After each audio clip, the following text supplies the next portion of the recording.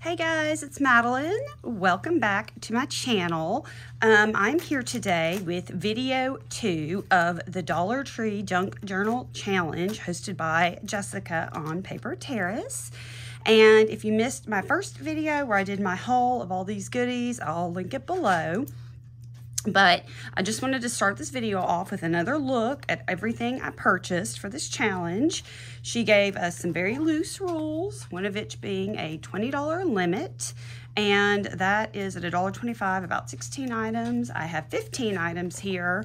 And I left myself one item in case I felt like I needed it as I started putting my journal together. So quickly, we'll go through what I have. I've got some trims, some twine for binding. I have got some fabric, some paper here, beads, um, eyelash trim, some rub-on transfers, my paper pack, sketch pad, file folders, coffee for coffee dyeing paper, um, these really pretty paper flowers, and some stamps, okay? So first off, I want to tell you guys that I've already used my paper and my coffee and have gone ahead and coffee dyed some paper, which I have right here. Okay, so I've got a stack of coffee dyed paper that we're going to use for the insides of our journal. So I'm just going to put that to the side.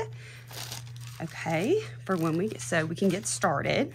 Now, also, I went ahead because I wasn't exactly sure how I was going to put this together. I went ahead and did my cover. And I'm going to show you guys how I did this, okay? So don't worry. Let me get some of the stuff we don't need right now out of the way. Okay. And I will show you how I did the cover. So I, as I mentioned, purchased this pack of file folders, okay? And what I did is I went in and I grabbed a yellow and a pink file folder already out, okay? And what I did is I took my yellow file folder, which I decided was gonna be my base, all right? And I made this journal, let's see here, one, two, three, four, five, six, seven, eight, nine, 10, 11, about 11 and a half by one, two, three, four, five, six, seven, eight. 11 and a half by eight, okay? So I trimmed this down to 11 and a half by eight. So we'll grab my paper trimmer, okay? And I just did um, my eight here, which worked out very well because it sort of cuts off the top and makes it more even. And um, I also went into 11 and a half like this. Whoop, that's 10 and a half, sorry. 11 and a half, okay. And cut a little off of here. All right, let me double check. Yep, that's it. Okay, so after I did this, I scored, I found my center, and I scored a one inch spine on either side. I also went in and glued these two sheets together. Now, I wasn't super happy, if y'all can see, it's kind of a little floppy. I wasn't super happy with that, so I went into my paper pack, which y'all know I love these. And I'll just open it up right now.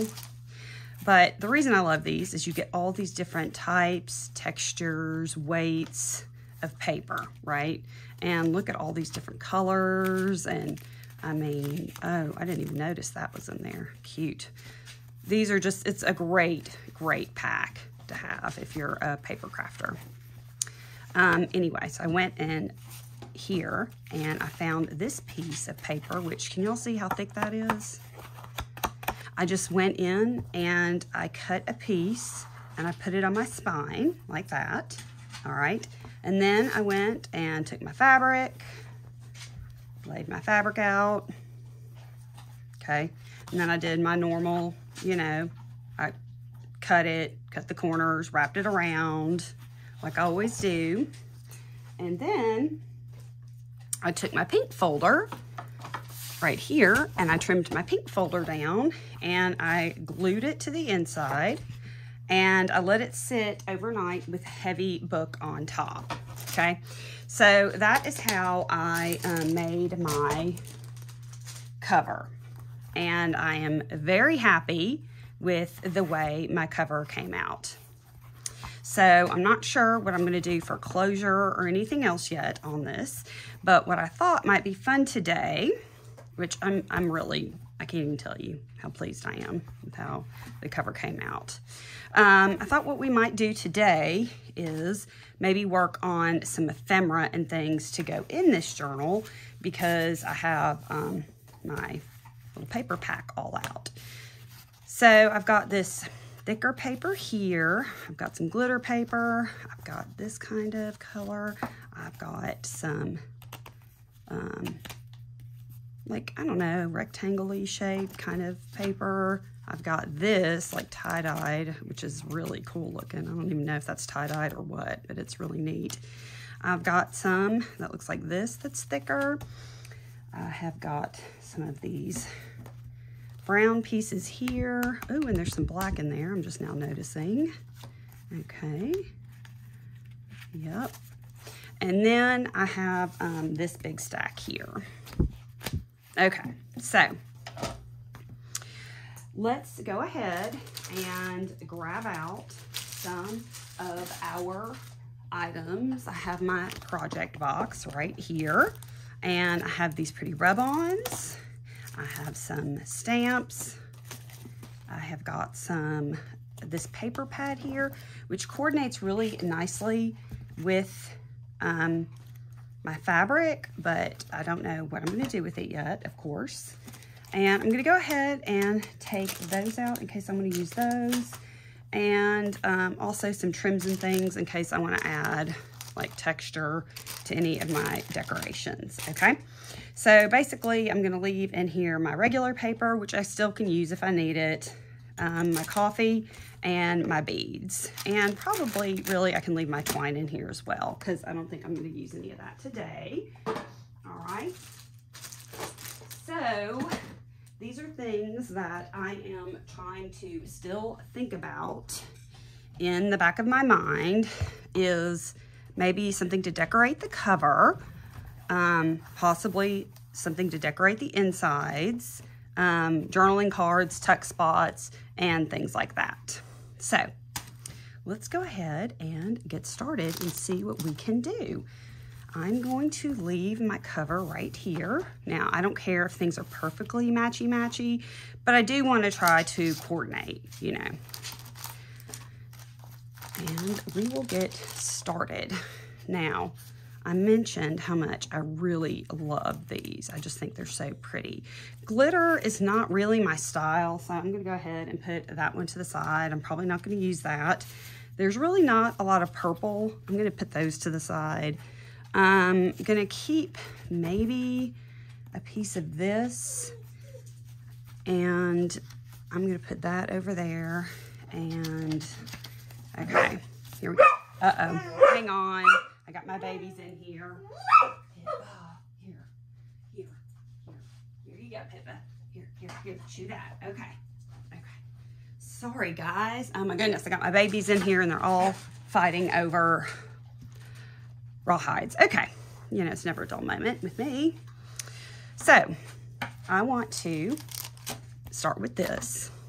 I just thought these images were so cute and they coordinated so nicely with this. And this looks like this is sort of a, I don't know if y'all can see that, a dark brown right there.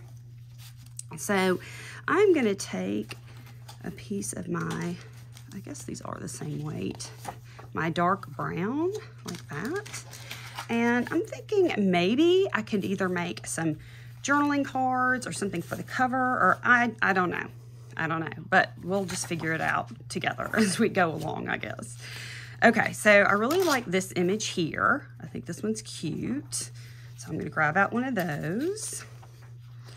I'm not crazy about the owl with this, although he is precious. I love this bunny though. Oh my goodness. I am so obsessed with this bunny. Um, there's a cute fox here. So we'll pull out a fox and we'll pull out a bird.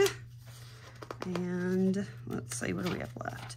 Y'all, look at the squirrel. That's so cute. Okay, we'll just put him and look at this guy. He is so cute, this raccoon. Ah, these are so cute. Um, let's see. Oh, and the mushroom, y'all. Look at the mushrooms. Okay, that's cute. All right, that's cute to start out. Okay, so let's, we can use some other things. So I have my ink here. I've got my Vintage Photo ink. And I am thinking it might be cute to do something with these on our cover. So let me grab my scissors and I think to start out, and y'all, I am literally um, doing this on the fly. I mean, I went ahead and kind of pre-thought my um, journal uh, cover yesterday because I wasn't sure if it was going to work out, if I was going to have to go ahead and pull in my extra item or not. But um, I'm going to do like a rough fussy cut of these here. And let's see. Part of the thing that I really love about this challenge is I'm probably holding myself a little bit stronger to the rules because I really want to push the limits of my creativity and out of the box thinking with only a few a few tools. So um, I'm excited to see what you know I can come up with. Okay, that's super cute. Okay, yeah, look how cute that is on there. And I'm thinking if we like backed it on here somehow and did some sort of maybe like layering. Um, let's see, what else do I have? Well, let me go ahead and ink this up. Okay, first of all. Because this is rather thin paper and that's also part of my thinking in getting this big paper pack is that um, I knew I would need to back it, you know, to use it because it really is very thin. I mean, very thin. Okay, and I'm just gonna add a little bit of ink here on the inside. Okay, that's cute. All right, so let's see. Let's just get creative and see what we can come up with. Now this is pretty. I like that. Let's get out our burlap trim and see what we can do with this here. And we also have these flowers, which I think are so cute. These paper flowers, I have never seen these before. Um, let me just get a few of each color out in the Dollar Tree. And so I was excited to find these, especially for this project. I feel like they're so delicate. Okay, let's see here. I kind of like these grays, this gray color maybe. Do like a little cluster of flowers in the corner there. Let's see. I really like this lace. I know I said I wasn't going to try to like design the cover, but now I'm kind of feeling inspired as I'm playing and, you know, touching all the different trims and whatnot. Um, see, now that to me would also be so cute as a trim, wouldn't it? That's so cute to me. Okay. Let's go ahead and let's see. Do we want to put some of this right here? Um, let's see, maybe. Or do I want to use some of this here? You know what? Okay. I think I'm going to get a flatter. Yeah, that's what I'm going to do. I'm going to get a flatter piece there. And I am just going to start. I'm going to get my glue out. This is my trusty glue. And I am just going to start to glue things down. And let me see, I want to make sure this fits on my paper. I really like it going this way, actually. But You know what? I don't hate it if it's coming off the edge a little bit. Let's see here. Let me take a little ink. Just um, ink up the edges here of this because I really kind of like that look. And y'all, this fabric is so soft. Love this fabric. Okay. Um, okay, there we go. Now, okay, and that's a little, little wonkus, which sometimes when you get these paper packs, wonkus, that is a very, very specific term, right? Y'all know exactly what that means, right? um, okay, let's just trim a little bit and try to maybe straighten that up a little bit. See, it's time to change my blade, which would make sense because I've been doing a lot of crafting lately. Okay, there we go with that. We can have that there. And we'll do a little trim here maybe or I keep going back and forth on this. You know what? I think I'm gonna maybe go for the lace. Let's go for the lace. Okay, let's trim some of this off and let's get a better edge here. Okay, and then, okay, ooh, do we want some lace up here too? I don't know. Okay, let's see. let's see here. Okay, y'all, I don't know. I'm just undecided about this. I'm just very, very undecided about what to do. Um, about what to do. Do y'all like that? I'm not supposed to have any help. Um, let's just think about that for a minute. Let's just think about that. I just don't know. I guess I could take the flowers and do something else with them. I could turn this around. Maybe I would like that better. And layer like this here. I don't know. Okay, now I'm liking this a little better. I'm liking that a little bit better. Let's see. What else do I have? That I can pull in to make this journal topper. That's kind of cute too. Okay, I have an idea. Let's try something, y'all. Okay, so I guess essentially what we are doing right here is we are making a journal topper. All right, so let me grab, since I'm gonna be doing some gluing, let me grab this here. Okay, this is just a piece of like um, wax paper or something that I use when I glue. It's just to, to protect my tabletop so it doesn't get so dirty. And I'm just gonna cut off some pieces here of our trim. Okay, here we go. Let's do this. Let's do a little bit of glue here. And. Let's put this down like that. Okay, love it. All right. And then let's trim off this extra and let's all say it together. Save your scraps. okay, just trim off this extra here. Okay, good. Good. Let me get a dry wipe. Okay, here we go. Perfect. Now I want to come down the sides, I think, with my glue.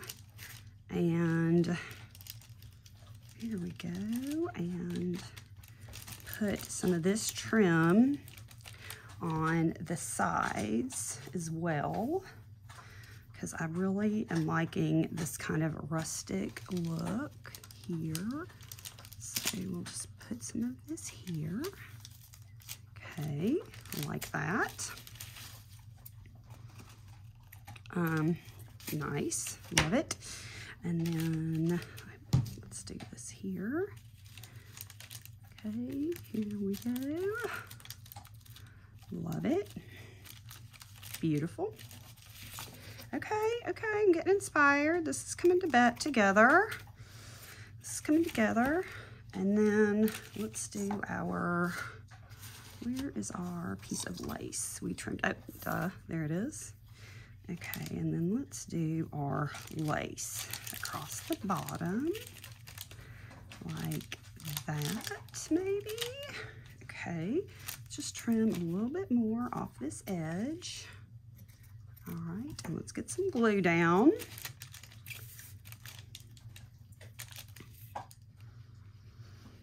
I said at the beginning of this video I was going to be doing ephemera, but here we go. We just, of course, took a left-hand turn and went right into a journal topper. Okay, let's see here. Let me put this here. Okay, there we go. That's so cute. Okay, and then where is our main guy? Now this, now y'all, this is coming together. This is looking cute. Now the one thing I do want to do though is, like I mentioned, this paper is kind of thin. So I want to glue this on a heavier piece of paper. Just set this to the side and cut this out. I think, now you guys share those chewies. Why? You need to share. Uma, you have your own chewy, baby. Uma, get your own chewy. Let Pippa have hers, okay? Be good girls. Okay. Uma Rose. You have your own little chewy baby girl. I know it. She's so mean. Hang, y'all hang on a minute. Let me fix this again. Here, Uma. Here. Look. Here, baby. Chew this one. Here. Chew that one. There you go. Good girl. It's a good boy, bud. Okay. Oh my goodness, sorry. Okay. So let's cut this out like this. Okay. Mm, and then we will re-ink it. And that will give us sort of a more secure, uh, stable image here on the front. And you know what else we can do with this entire thing is we can make it a pocket. That would be very cute to do a pocket on the front cover. Okay. All right. This is, this is, I'm feeling good about this now. Okay. All right.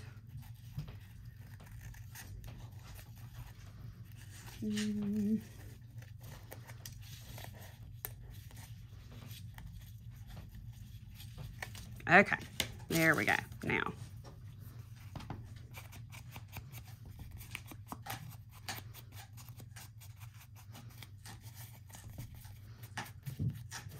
can you guys hear them chewing in their little rawhides? Oh, they're a mess. I love them. Okay. Okay, yep, that is very cute. Okay, now before I commit, look at that, so cute. But Pippa, you have your own. I Now Pippa, you have your own Chewy baby. Um, I think I like all the, I think I like this little grouping of three of the lighter ones. Okay, I know it. I hear you, I understand, but Uma gets to have one, okay? I'm, tell me about it. I know. Sometimes it's not very fair, honey. You eat your chewy, and you also took Bobo's chewy, but he doesn't seem to mind. Okay, you chew your own chewy. Thank you. Okay, now we're gonna glue this down right here, I think. Oh my goodness, y'all. Oh, this is so cute. Pippa. Here, baby. Come on now. Y'all share them. Share the chewies, please. Share the chewies. Okay. Okay, I'm going to get these flowers on, and clearly I'm going to have to end this video because my three um, doggy children are not getting along. Okay. But I am thrilled with how this is coming out. Y'all, I am so sorry. Okay, I'm gonna go ahead and end this now. I'm gonna end this now. This, I'm gonna let this dry. This is gonna be our journal topper. And then we'll get started with the next part um, in our next video. Okay, talk to y'all soon. Bye.